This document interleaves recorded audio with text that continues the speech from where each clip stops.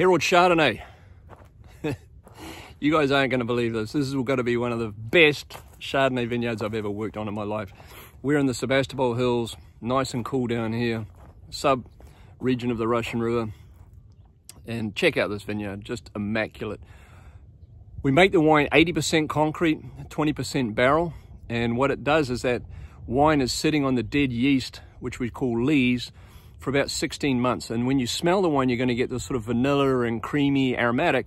But when you drink the wine, you're going to get this electric tension, brightness, what great Chablis is about. You know, goes, man, am I hungry or thirsty? And I'm, I'm already thinking about that wine. So what makes it unique? Well, what makes it special is this Goldridge sandy loam. So it's a talcum powder soil.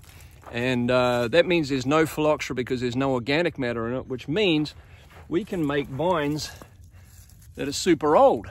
And when you have old vines, they tend to be sort of what we call mass selections or field selections. So here's two berries from the same cluster. Look, big berry and small berry in the same cluster. That says to me no clone. No Dijon, no UC Davis, because they were selected for fast accumulation of sugar and tonnage. And this is an old field selection that was selected for its melon and subtropical characters like passion fruit.